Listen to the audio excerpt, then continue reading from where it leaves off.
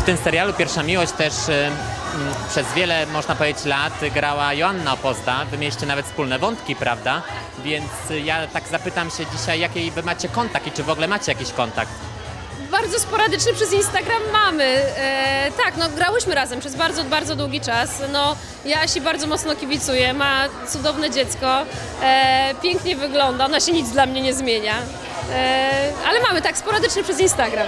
Czy ty śledzisz to, co się dzieje w jej życiu? No bo nie ukrywajmy, ale to jej życie ostatnio osobiste jest dosyć mocno medialne ze względu na rozstanie z Antkiem Królikowskim.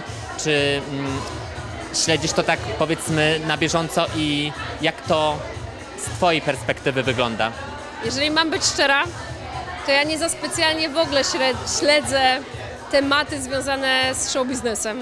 I nie chcę, to nie jest moje życie, e, a każdemu życzę jak najlepiej.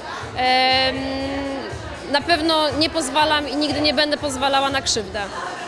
Jeżeli krzywda się dzieje, a tym bardziej jeżeli chodzi o dzieci, no to ja mówię stanowcze nie i zawsze w obronie takich osób stanę. Nie chcę mówić, czy w tym przypadku e, nie mi nikogo osądzać.